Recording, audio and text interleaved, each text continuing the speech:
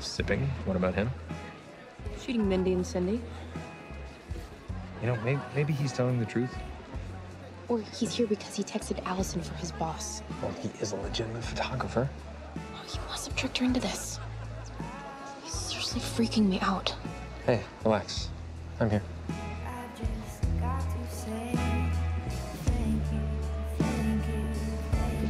Why would she say that?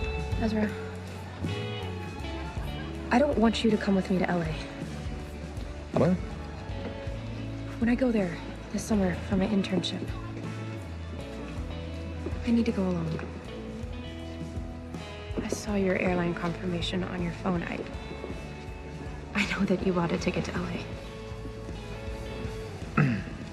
Did you also see that it was a a layover on my way to Thailand?